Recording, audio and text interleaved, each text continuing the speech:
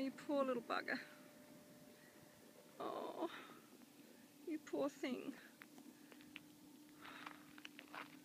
You poor little bugger. You poor little thing. Oh, you poor bugger. Hey guys, this is one of our beautiful native animals. And he's just been hit. And he's grabbing his head because he's in so much pain. Oh.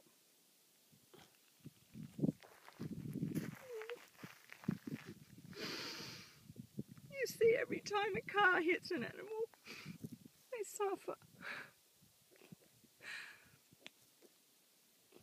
You poor little thing.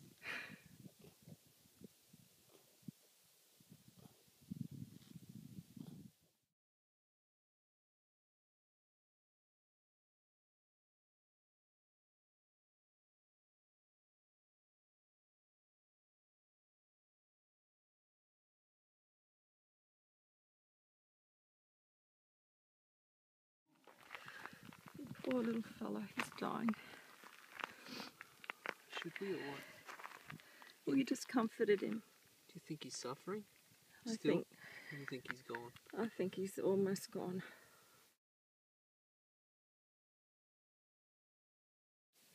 Hmm. I think he's in his last little moments.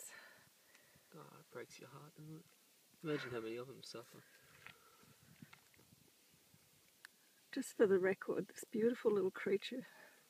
I know they seem to be a pest for many people, but they're still a mammal and they still feel pain.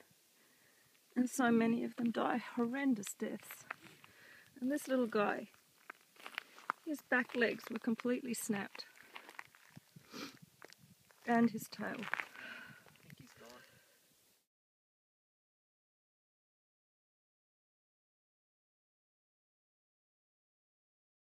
He's still alive. He's still here. He's in a lot of pain. Hey boy. It's okay, sweetie. It's okay. Just don't want him to panic. I got you, It's boy. okay. Just pat his head. There you He's, at least he Yeah, has the comfort. We got you. You're okay now.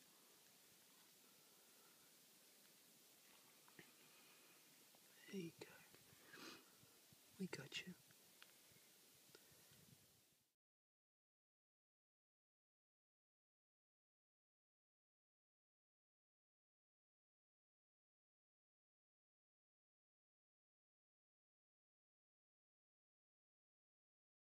I would have killed him.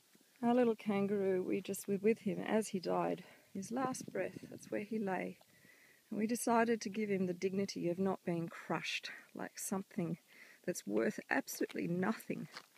So we pulled him off the road after we knew he was dead. And we put him to the side. He'll be a meal for lots of other animals Hawks and crows. hawks, crows, foxes. And This poor, beautiful little creature. These are not pests, they're native animals. They're only pests to white man because, well, you know, we have funny ideas about the value of a native animal. But this little dear creature, he really, he went quick, but he would have suffered.